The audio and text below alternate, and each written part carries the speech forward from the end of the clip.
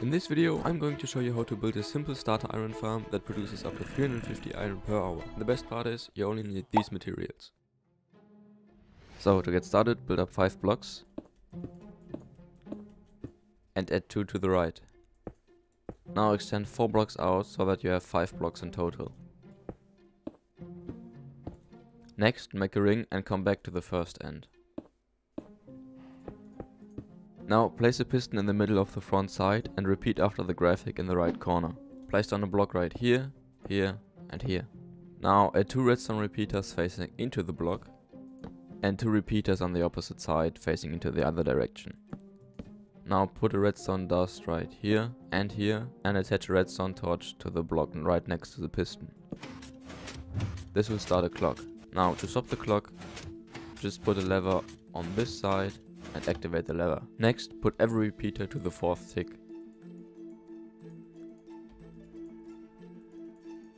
Now, fill the blocks over the repeaters and extend one out over the redstone and the redstone torch. So repeat after me.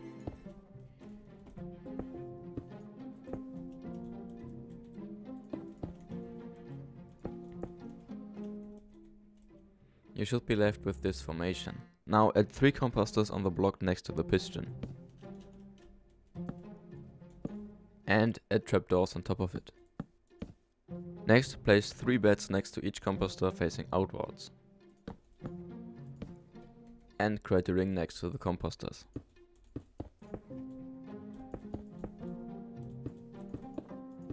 Once this is done, place two chests on the right composter horizontally and leave the middle part empty.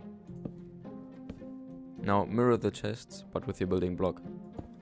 Next build up two with your building blocks so that you get this shape. Next add a temporary block between the stone and the chest. And add a trapdoor in front. Now add two more trapdoors on top of the other trapdoor. And close them all up. You can now break the temporary block.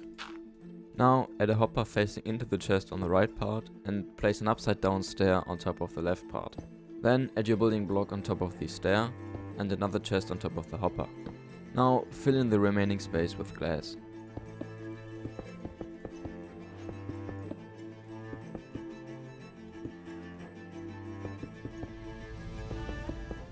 Place one hopper facing into the upper chest and four more hoppers connecting into this one.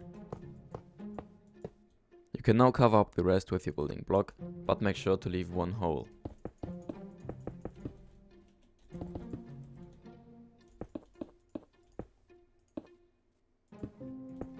Drop into the hole and place 3 more trap doors on the ceiling over the composters.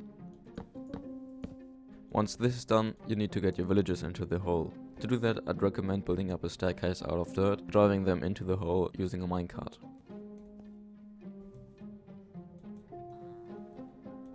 You can now close the hole and break the minecart path.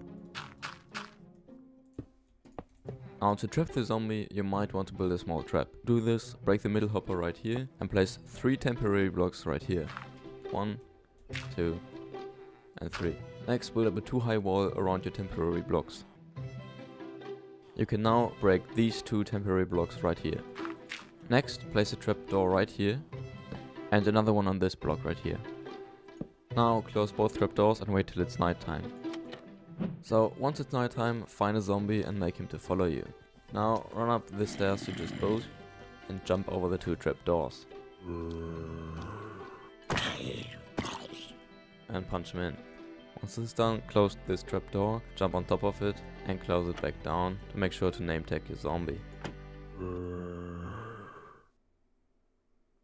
Name tagging the zombie will prevent it from disappearing. You can now break this contraption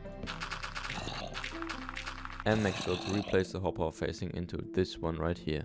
Place a wall on the middle hopper and make it two high.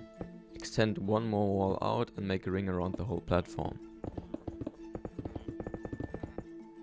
Now surround the two high wall with signs. Add another wall behind the wall which is surrounded by signs. Next place a sign on top of this wall and on each of these signs.